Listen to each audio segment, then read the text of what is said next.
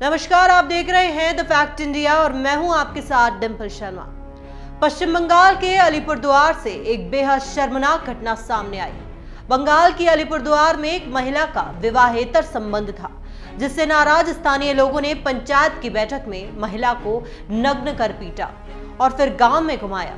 क्रूरता की हद तब हो गई जब गाँव के लोगों ने महिला का वीडियो बनाकर सोशल मीडिया पर वायरल कर दिया।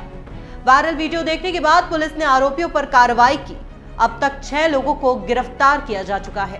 जानकारी के मुताबिक गाँव की सालिसी सभा विवाहेतर संबंध के आरोप में आदिवासी महिला को निर्वस्त्र कर पीटा गया।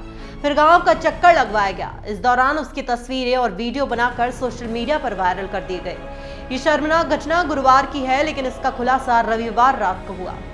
क्या है मामला? यह शर्मनाक घटना अलीपुरद्वार ज़िले के कुमार ग्राम प्रखंड के आदिवासियों के सुदूर गाँव में हुई।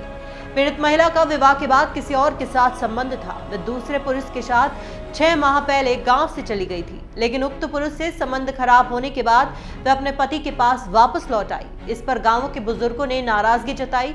गाँव के बुज़ुर्गों के कहने पर महिला और उसके पति को मानसिक और शारीरिक रूप से प्रताड़ित किया गया। उसके बाद बुज़ुर्गों ने आदिवासी दंपत्ति को गुरुवार दोपहर को सालिसी सभा में उपस्थित होने का निर्देश दिया। इस मामले में महिला के पति को समाज से बाहर रखने की हिदायत दी गई। पीड़ित महिला का आरोप है कि सालिसी बैठक के दौरान महिला को पीटा गया। फिर बैठक में मौजूद गाँवों के युवक ने एक एक कर पीड़ित महिला के सारे कपड़े फाड़ दिए। महिला को नग्न अवस्था में गाँव में घुमाया और वीडियो बनाकर सोशल मीडिया पर अपलोड कर दिया गया और रविवार दोपहर तक उस शर्मनाक घटना की तस्वीरें सोशल मीडिया पर वायरल हो गई। पुलिस ने वीडियो देखने के बाद आठ लोगों पर मामला दर्ज किया है।